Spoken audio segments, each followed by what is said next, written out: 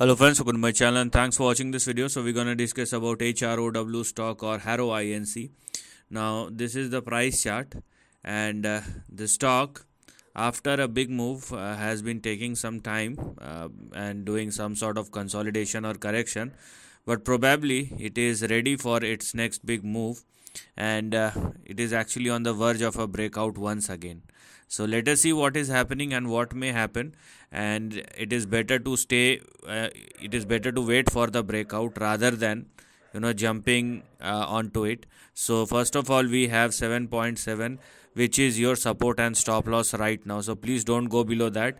And simultaneously we want a breakout at or above 12.5 which was your previous resistance. And because the stock has gone through some sort of correction it will be your next resistance as well.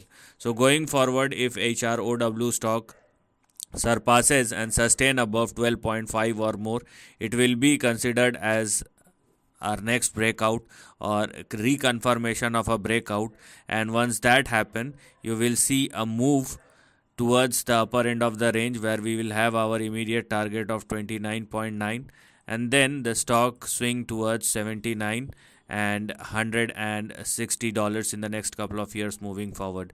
So for HROW stock, it is basically on the verge of a breakout and what we want is this particular stock to surpass and sustain above 12.5 or more and if that happens and if the stock surpasses thereafter you will see this big highlighted section which will then become active moving forward. But in the next couple of months or years meanwhile it is mandatory not to go below 7.7 or lower. So this is the end of the video. Thanks for watching